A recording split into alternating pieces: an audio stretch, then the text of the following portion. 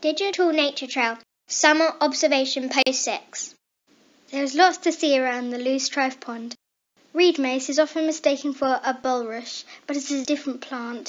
Common spike rush grows at the muddy pond edges.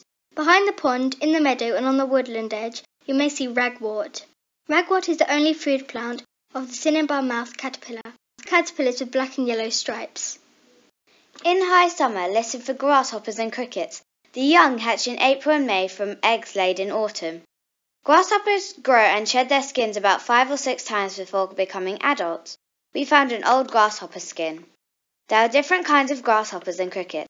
You can tell the difference between gra- grasshoppers and crickets by looking at their antennae. The grasshoppers are short and the crickets are long. Grasshoppers eat plants. Crickets eat plants and small insects. In June, you can find cuckoo spit on plant stems, but this has nothing to do with cuckoos. The froth you can see is formed by larvae of insects called froghoppers. Froghoppers feed on the sap of plants. They have special mouthparts which enable them to pierce the stems. What they don't eat forms froth around the larva. Near the dog pond opposite, look for the red and white clover.